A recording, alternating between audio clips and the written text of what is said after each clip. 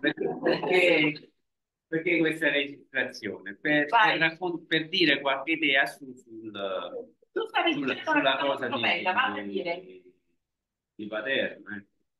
Io, sì, io... Come, eh, perché non parlare di, di, questa, di questa attività qui, no, no, eccetera. Ecco, vabbè, vai. Sì, Enzo, io, eh, Enzo Umberta, io vi ringrazio e anche ringrazio tutti i nostri colleghi di essere di qui perché ehm, avevo chiesto di fare una riflessione su quello che sta accadendo, che è accaduto e dicevo un po' perché abbiamo la responsabilità, io sento la responsabilità professionale, etica e deontologica. Per quali motivi? Allora, noi qui siamo terapeuti della famiglia e qui c'è una famiglia, si parla di famiglie.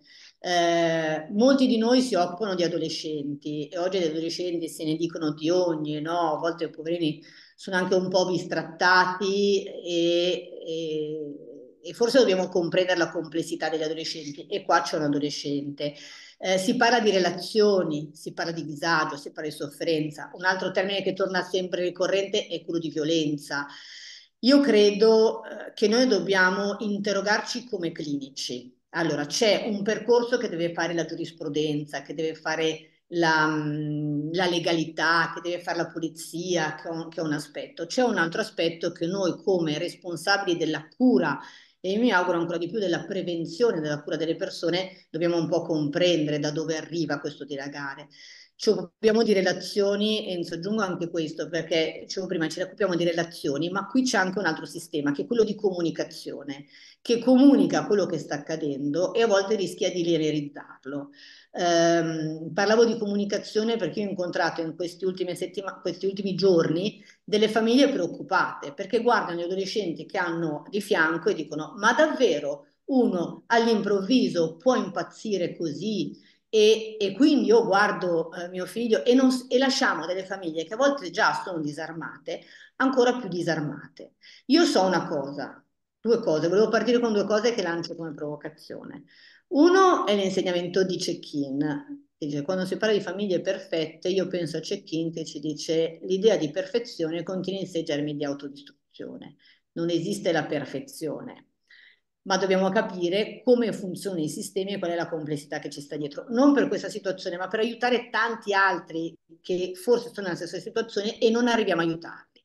Perché quando arrivano in terapia già un pezzo della strada è fatto, ma noi dovremmo poter arrivare prima. L'altra idea è quella di doppio vincolo. Io ho pensato tanto all'idea del doppio vincolo di Bateson. No? Bateson ci ha insegnato che il disagio psichico nasce da un sistema di comunicazione di relazione che fa cortocircuito, doppio vincolo, da cui tu non puoi uscire.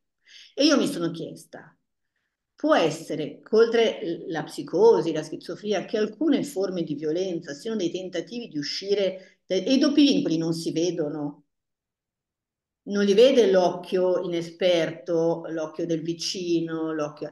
E allora quello a cui io mi interrogo è come possiamo riflettere in senso clinico su come sostenere le famiglie che osservano tutte queste, gli adolescenti, le famiglie che non sanno gestire gli adolescenti e come possiamo complessificare questa, eh, queste letture, perché se no ci perdiamo, ci perdiamo solo nell'accusa. Parto da qua. Intanto.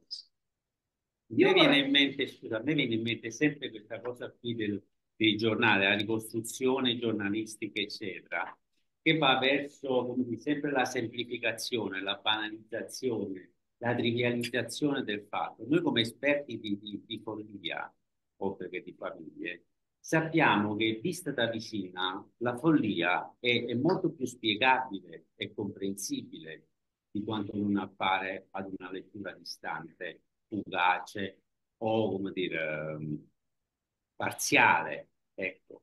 Cioè, le, le, sappiamo ad esempio che molto spesso eh, l'evento psicotico è un tentativo del soggetto di riaggiustare qualcosa. Questo è il primo. Sì, la prima sono... L'altra parte da, da alcuni dati allora, Ponte Ministero degli Interni dice che ci sono stati 88 omicidi dall'inizio dell'anno. Sempre fonte del Ministero degli Interni dice che il 50% di questi sono avvenuti in famiglia. Quindi, probabilmente la famiglia è un luogo dove si sta particolarmente soffrendo in questo momento. e c'era più sofferenza prima, ci sarà meno sofferenza domani. Io questo non, non lo so, però io partirei un pochino anche da questa, da, da questa considerazione. Umberta. Io voglio allargare il, gioco. Eh, credo che facciamo, siamo in una cultura, a me è piaciuto molto l'articolo di Giardi, eh, che diceva ci vuole silenzio, eh, non dobbiamo lavorare su troppe, troppe ipotesi e, ehm, e, e credo che il silenzio non vuol dire silenziare la voce dei studenti ma, eh, o dei ragazzi, ma avere la possibilità di ascoltarli. Mi viene in mente che la scuola non ascolta, che abbiamo un governo che non ha permesso eh, che ci fossero i corsi sul benessere delle relazioni o il benessere sessuale e sentimentale e è una cosa gravissima perché era un posto dove si poteva discutere insieme di cosa vuol dire relazioni, cosa vuol dire bene, cosa vuol dire male. Quindi io allargherei alla scuola, allargherei sicuramente al contesto ehm, e alla cultura di questo momento in cui c'è una ricerca di perfezione per cui essere una famiglia perfetta eh, al compleanno di papà è meglio che avere un figlio imbronciato. Eh, e quindi c'è un obbligo a performare, un obbligo morale non esplicitato a performare in un certo modo. Vorrei insistere sulla distanza tra i ragazzi eh, e i genitori e forse anche dobbiamo parlare dei mezzi eh, del, del, telematico, del virtuale, sì. che permette di entrare in dei mondi e rimanere dentro il proprio mondo senza falsificare la propria realtà. Eh, confronto con l'altro. Umberta, accolgo questo tuo allargare perché l'avevo assolutamente in testa anch'io. Allargare a un contesto che non vede. No, torno a ripetere, noi facciamo i clinici, ma dobbiamo uscire dalle nostre stanze di terapia, perché qui nessuno ha formulato una domanda. E dico sempre, quando le persone arrivano a formulare una domanda, eh, significa che sono già un pezzettino di strada eh, fatta. No? Allora, il senso di responsabilità civico che mi viene da dire quanto noi siamo in grado di formare, di pensare un sistema di tutela che viene prima. Eh, gli insegnanti non hanno visto, forse non hanno gli strumenti e quanto possiamo pensare a delle strategie, delle modalità che permettano di vedere, di aiutare eh, le famiglie e i singoli a vedere la sofferenza. Io oggi sono qui a fare una lezione sull'affido familiare e una delle cose su cui lavoro è l'importanza no, eh, che il, il, sistema di tutela è fatto dal sistema di cittadini, dal sistema di operatori consapevoli che sanno cosa devono guardare. Sono d'accordo con te, abbiamo dei ragazzi che stanno male, delle famiglie dentro le quali si sta male, ma che poi bisogna aderire a un modello di perfezione eh, sui social sono tutti perfetti e quando tu vedi tutti perfetti e tu non ti senti perfetto, non pensi che anche gli altri mettono immagini di perfezione che non corrispondono alla realtà, pensi che gli altri siano realmente così e tu non sei così. C'è anche, io aggiungo, io non credo che, dobbiamo anche fare attenzione, io sento a volte l'attribuzione di responsabilità è data ai social, io credo che i social, la televisione, questo sono dei trigger, sono delle micce, eh, che entrano in un contesto dove il malessere è più ampio. Faccio una battuta. Eh, fa, faccio una battuta eh, poco simpatica, nel senso un'osservazione di un contesto familiare. L'altra sera ho detto basta, io dentro questa storia mi ha colpito, non voglio vedere nulla che parli di violenza e ho girato tutti i canali, in uno accoltellavano, nell'altro c'era il telegiornale che dico una cosa un po' che a volte forse entra troppo nei dettagli, no? E allora dico quanti ragazzi adulti stanno male e gli offriamo, quello offre semplicemente un'idea, no? Io non so come uscire e dire guarda, è già impacchettata, no? Ma non è quella la causa, quello, eh, quella è dove si, si, ripercuote la solitudine. E allora l'interrogarsi, oggi forse qui ragioniamo più in senso teorico, appunto, aiutare le persone a pensare che si allarga queste cose accadono dentro il dolore, non accadono da oggi o domani. Tutta la storia della psichiatria e della psicologia ci dice eh, il disagio psichico non nasce dal nulla, no? non ti svegli il giorno prima, stavi bene, il giorno ma- dopo... Eh... questo sia chiarissimo. Eh? E non esiste il raptus, deve essere sì. Sì, perché se no eh, a un certo punto viviamo nel terrore, no? E questi ragazzi che hanno bisogno di essere aiutati eh, vengono visti, rischiano di essere ancora di più allontanati, no? Oddio, quale mostro potrebbe eh, venire fuori da questo ragazzo oggi? Invece sono ragazzi che hanno bisogno di aiuto. Io me ne sono occupata tanto, so se dopo il Covid ho sempre pensato che sono stati un po' messi in panchina, che forse questo sia un modo in cui stanno, ci guardano e ci dicono ma voi adulti cosa state facendo? In che modo ci aiutate? In che modo li stiamo aiutando a leggere quello che sta accadendo? Ma guarda, Marilene, io sono 35 anni che incontro ragazzi e bambini. Eh, ragazzi, ecco, non ragazze, ragazzi. Mm. E tra l'altro, di questi 88 omicidi, eccetera, eccetera, di questi numeri che dicevo prima, la quasi totalità riguarda il genere maschile sono sempre maschietti, siamo sempre noi maschietti. Ecco. E l'altra faccenda riguardava l'idea che mi fa venire, mi è fatta venire in mente a proposito dei social, dei social, dell'idea di perfezione e anche dei videogiochi delle, e dei film no, che vengono proposti. Ne parlavo ieri proprio con una signora che, veniva, che è venuta, che insomma c'è un bambino che ha una crisi di aggressività, eccetera. E, e, a un certo punto le ho detto, beh, in effetti, eh, perché lei ha detto, io ho spento la televisione, a un certo punto, perché vedo che dovunque giravo, ecco, c'erano sempre immagini di, di, di assassini, di guerre, eccetera. Ma io ho detto, ma in effetti è, è, proprio, è proprio così. Tra l'altro ci sono sempre episodi di guerra, di battaglie, tantissimi film vengono fatti su questo e ci sono pochi, come dire, pochissimi film sulla pace, pochissimi film sull'amore. L'amore come, come, dispositivo di generosità e di generatività. Esiste anche l'amore del perdono, no? di cui abbiamo parlato prima facendo lezioni. E quindi c'è, c'è, po- c'è poca, come dire, c'è poca letteratura su questi argomenti c'è poca esposizione, c'è poca riflessione, c'è poco coinvolgimento anche nel, nei, nei, servizi scolastici, se vogliamo anche ad altri, a fornire ai ragazzi degli strumenti di riparazione, perché sembra che la, la, la dimensione sia sempre attacco-fuga, la, la, la, dimensione per esempio del perdono, la, la dimensione della restituzione, a dimensione della, della giustizia riparativa di tutte queste cose qui, beh, sono, sono dimensioni che vengono poche o poco praticate. Io poi ritengo anche che sia anche un problema di tipo storico, geopolitico. Noi stiamo attraversando un momento che vogliamo allargare il contesto particolare, ci sono delle guerre in giro. Non è che eh, le cose vanno benissimo sul fronte eh, generale. E noi sappiamo che in certo qual modo le, varie, le varie faccende hanno de, de, delle riverberazioni, eccetera. Io quando incontro i, i, i ragazzini e, e gli adolescenti, anche per come si vestono, per quello che è il loro comportamento non verbale, eccetera, eh, riflettendo sempre a quest'idea che non ogni, ogni civiltà tende in un certo qual modo nella nuova generazione a, replicar, a replicarsi, no?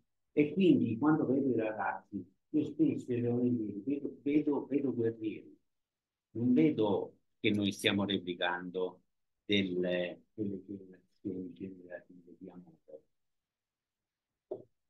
Posso, io volevo dire due cose mh, su questo. Uh, sono d'accordo con te, eh, Enzo, che si è perso il sociale in questo mondo ipermoderno. E essendosi perso il sociale, ognuno è un'isola singola, una sua isoletta, un singolo una sua isoletta. E essendosi perso il sociale, non c'è uno sguardo collettivo su quello che sta succedendo, per cui non ci si accorge, per esempio, eh, che questo ragazzo sta male, non se ne è accorto nessuno. I coetanei, voi stavate dicendo, i coetanei, un gruppo sportivo, avete parlato di scuola, avete parlato di genitori, avete parlato di lontani cugini, abbiamo parlato di tanti sistemi che potevano accorgersi e non si sono accorti. Allora io volevo dire due, due, due cose su questo. Uno, interessante che siano soprattutto maschi. A me arrivano in terapia uomini che non decodificano le loro emozioni, totalmente incapaci di decodificare le loro. Le femmine attraverso la loro propensione all'amore romantico, imparano un alfabeto delle emozioni, un pochino meglio dei nostri. Però è gravissimo questo fatto di non decodificare.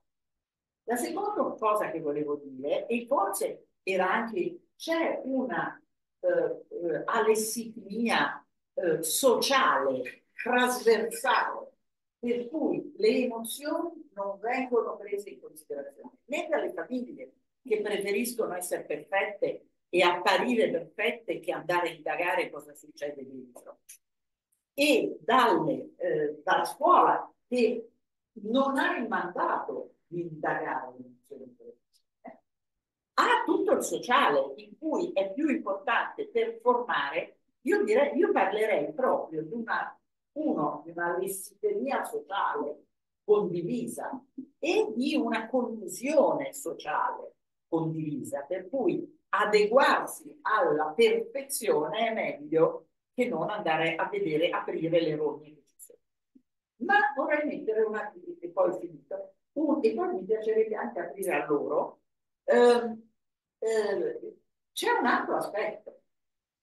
Noi siamo a ci è successo che abbiamo scotomizzato il concetto di morte. Noi ogni giorno vediamo attraverso i filmati, un po' quello che dicevi anche te, eh, una quantità di morti altissima. Cioè saremo sottoposti a un centinaio di morti al giorno, tra nei film, nei telegiornali, nel apriamo il giornale, in tutto quello che succede. Quindi il concetto di morte che, che come concetto di morte propria è un tabù, come concetto di morte in generale invece è diventato un concetto eh, che si può comprare dal cantiere, cioè abusato, ma su cui la nostra tolleranza emotiva si è molto abbassata. Non ne abbiamo più paura. E non solo non ne abbiamo più paura, ma è diventato in qualche modo reversibile. Io credo a un concetto di morte reversibile. Cosa intendo dire? Intendo dire che lo stesso attore che in una, che in una eh, eh serie muore, in un'altra serie è vivo e. Quindi i ragazzi non hanno un concetto di morte definitiva, molto spesso, hanno un concetto di morte molto quotidiana, è un, è un gioco, non è una cosa seria. È una cosa che si sono assuefatti e che rischia di... e che i bambini piccoli, questo è un concetto dei bambini piccoli, che muoiono ma poi risorgono. Ma io lo vedo che ce l'hanno anche degli adolescenti. Cioè, quello che vedo, per esempio, il mio allievo, il mio paziente, eh, cliente, un giorno diceva mi ammazzo, e gli trovo poi, ma poi vivo. E gli ho detto, scusa, stai dicendo una stronzata, aveva 15 anni. No, poi rivivo, chissà, sarò in un altro mondo. Ma il suo poi rivivo, poi ci ha pensato anche lui. Io gli ho detto, ma stai dicendo una stronzata, che vuol dire? Se sei morto, sei morto. Noi come terapeuti non sappiamo e conosciamo l'importanza che ha per la mente eh, l'utilizzo del linguaggio, l'utilizzo di alcune parole.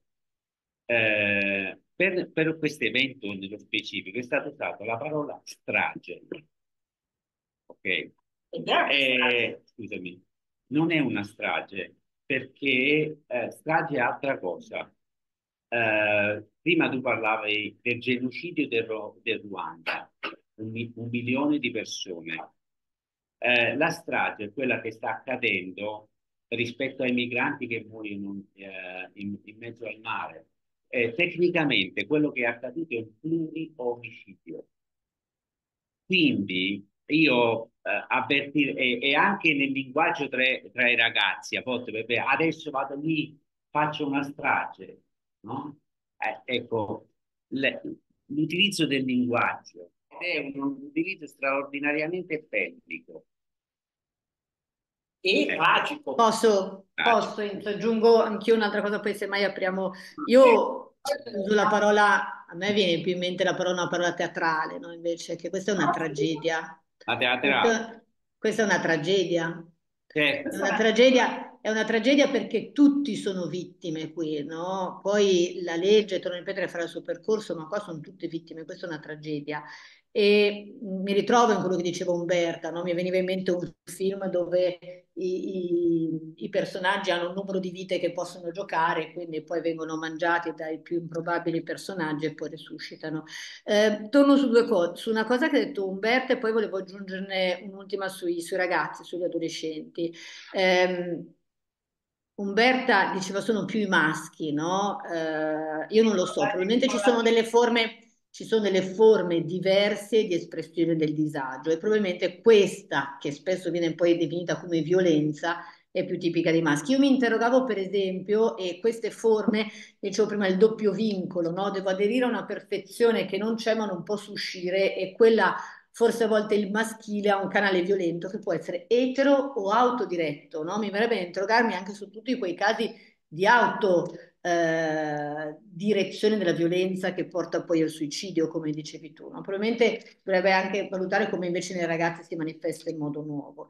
Io, volevo condividere con voi un'immagine che qualcuno mi ha già sentito usare, no? parlando degli adolescenti. Io un po' di tempo fa avevo detto che gli adolescenti sono di oggi, come dicevi sono d'accordo col contesto culturale, sono come delle Ferrari senza freni chiuse in garage e vi spiego perché. Adesso uso un'espressione che a Umberto non piace, dico quando si parla di cervello noi parliamo di mente che è più complessa del cervello, però gli adolescenti sono fatti, predisposti, programmati all'azione, nel senso che lo sviluppo psichico, cognitivo, emotivo dei ragazzi li prepara a non avere una propensione al rischio, perché qui parlo di cervello, nel senso se, se uno eh, se fosse qui chi è più esperto di, di cervello dice il lobo frontale è meno sviluppato, ma sono pronti all'azione, perché questa è una, una cosa evoluzionistica, eh, legata all'evoluzione, l'adolescente è pronto all'azione, a cambiare il mondo, a fare delle cose senza troppi freni che hanno più il mondo degli adulti. Eh, però c'è un contesto culturale, gli adolescenti funzionano ancora così, ma oggi gli adolescenti non è che possono fare tanto nel mondo, li critichiamo che non fanno niente, che stanno sdraiati sul divano, ma in realtà una volta si pensa ai grandi pensatori a 30 anni, a 20 anni avevano già fatto un sacco di opere, oggi bisogna finire la scuola, bisogna aspettare una serie di cose ed è giusto magari aspettare, ma nel senso che un sistema sociale che è diventato complesso richiede a un piccolo dell'essere umano di essere molto più preparato e molto più grande per gestire questa complessità però loro hanno questo impulso all'azione e li mettiamo in garage, e mi verrebbe dire, li mettiamo in garage, però li dotiamo di tutta una serie, sono dotati di tutta una serie di, di aggeggi che fanno parte del, del, dell'oggi, non sanno della tecnologia, di tutta una serie di cose, dove poi sfruttano eh, questo loro bisogno d'azione che si traduce in qualche altra parte.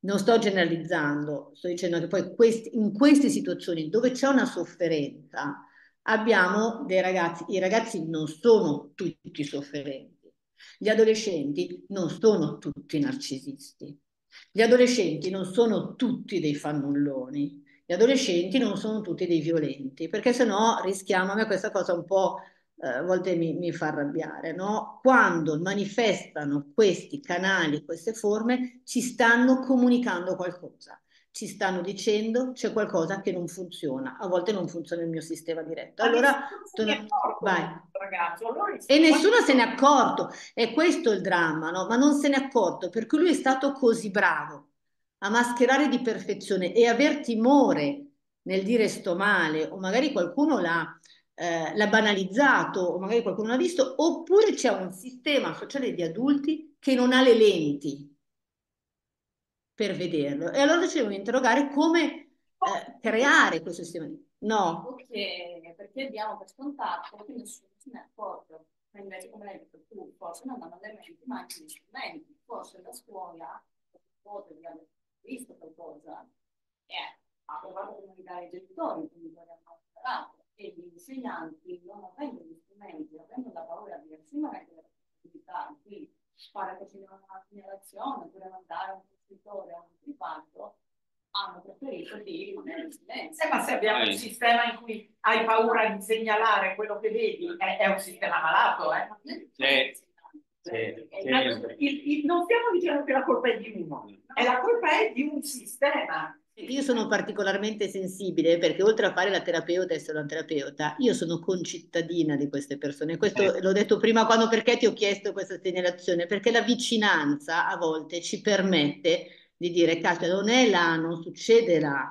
Io faccio, io l'avevo detto questa cosa, ho detto Enzo, io di questa cosa ne voglio parlare, perché io sono di Padano Dugnano, sono eh, una concittadina di queste persone. È interessante perché un'altra delle caratteristiche della follia, dell'imponderabilità, eccetera, è che succede sempre altrove. Invece le cose si succedono a, proprio fuori dall'uscio della nostra piccola casetta. Cosa dice il compagno? La, il compagno, beh, guardalo, il compagno dice molto, una cosa molto interessante, dice, eh, questo mio compagno era un ragazzo un po' chiuso, ce ne eravamo accorti tutti, lo sapevamo come era, come era fatto, e, e, stava dentro un pochino la sua cosa, quindi, eh, insomma, sta, ci sono state dei, dei, dei ragazzi che a volte i compagni no? Sono i migliori psicologi. Da pensare anche che sono due temi che possono essere importanti, sia in questo caso, ma in generale a livello sociale, quello della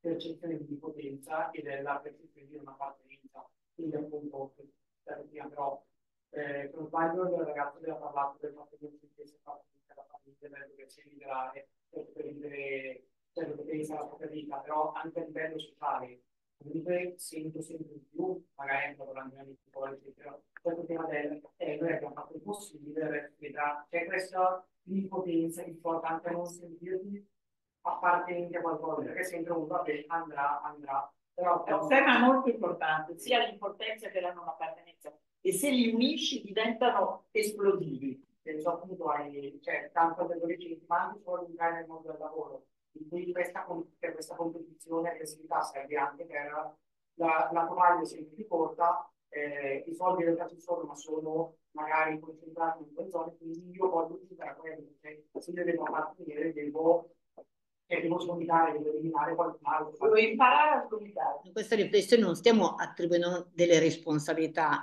ma stiamo riflettendo su come possiamo lavorare su un sistema che diventi più capace eh, di vedere e di riconoscere. Nel momento in cui abbiamo iniziato a parlare, eh, a me mi in mente subito il caso di Eric e Omar, me ne ricordo bene. Ecco. Uh, quando praticamente io mi ricordo che cioè, il caso di Omar è stato uno sconvolgimento, nel senso, è stato il primo caso di strage.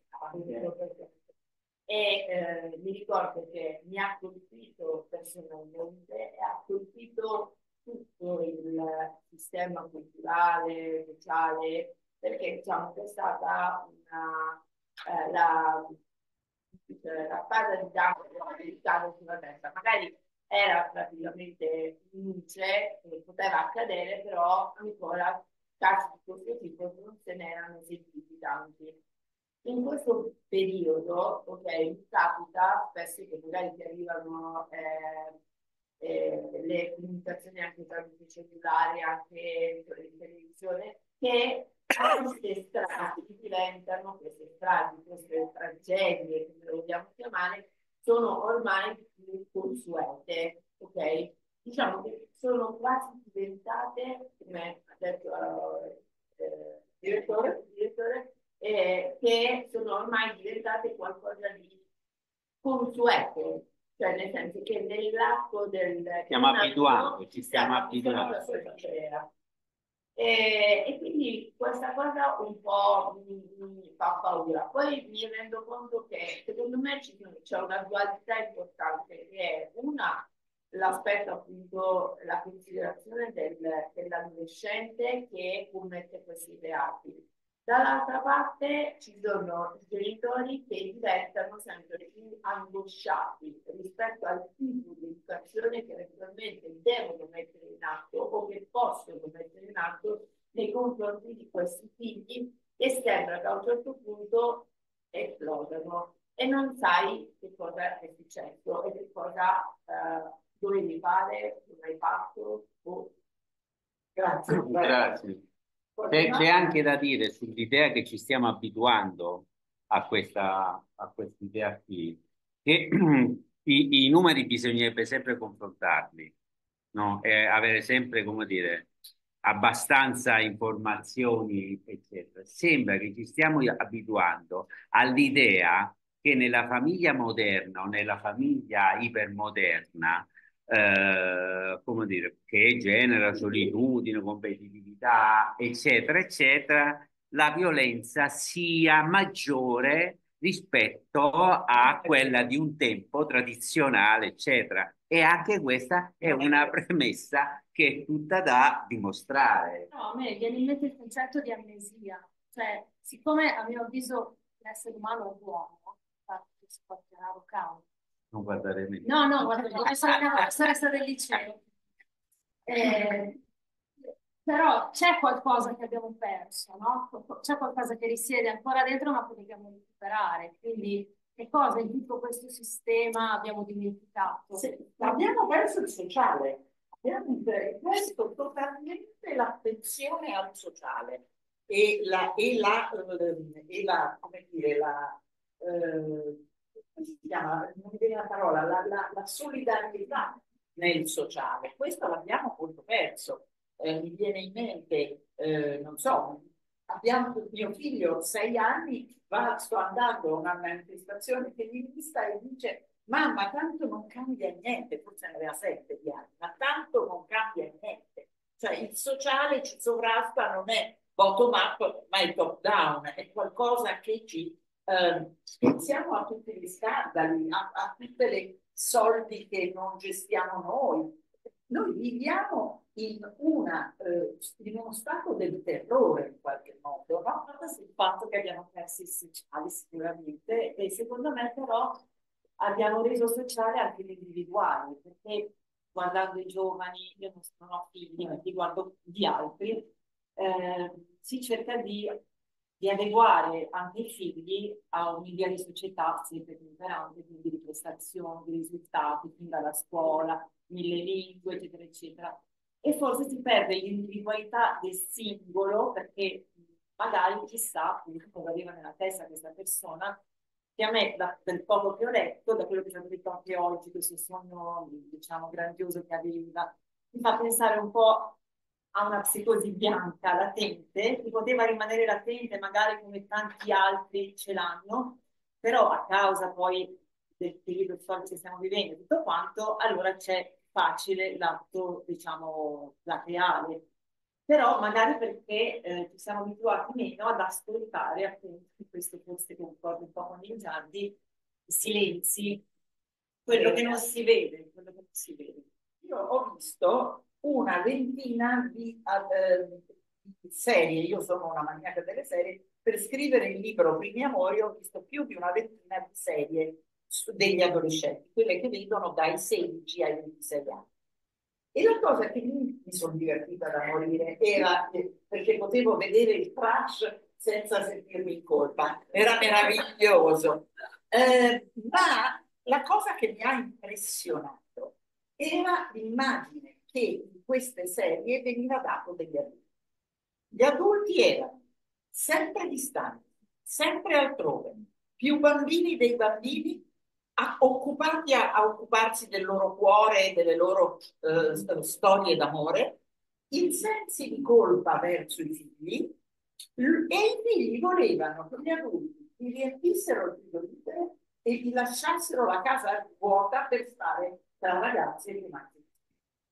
Mi ha impressionato perché non c'è una serie tra le 20 e più che ho visto in cui c'era un rapporto buono tra un genitore e un figlio. Allora, perché lo fanno? Perché è così o per rassicurare i ragazzi che la loro famiglia è meglio?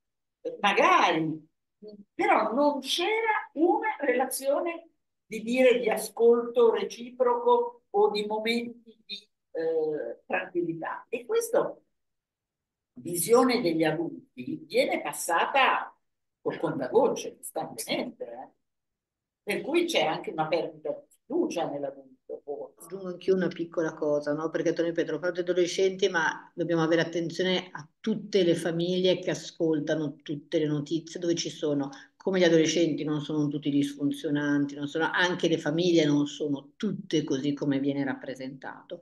Forse e torno a ripetere, quello io mi sto interrogando, mi piace interrogare, mi piace fare progetti, mi piace pensare degli strumenti, uscire dalla stanza di terapia, io sono un psicologo di emergenza, sono abituato a uscire dalla stanza di terapia e guardare eh, le persone prima eh, possibilmente che arrivino, ricordate ci sono anche delle famiglie che funzionano. A volte dobbiamo fare attenzione che le, la non comunicazione, la non attenzione, la non formazione manda le famiglie in confusione e non sanno più se stanno facendo bene, se stanno facendo male, come si devono relazionare, se quello veramente devo stare attento perché divento pericoloso e forse dobbiamo un po' interrogarci su questo. Sono d'accordo con Umberta, le famiglie funzionanti non emergono e non compaiono, ma ci sono. Ma come mi viene a dire come sono fatte? No? Non è la famiglia, la famiglia per bene, siamo tutti per bene senso nessuno non c'è il non per bene o altro, perché il disagio non vuol dire non essere per bene, soffrire non vuol dire non essere eh, per bene, e poi il modo in cui si manifesta la sofferenza. Quindi,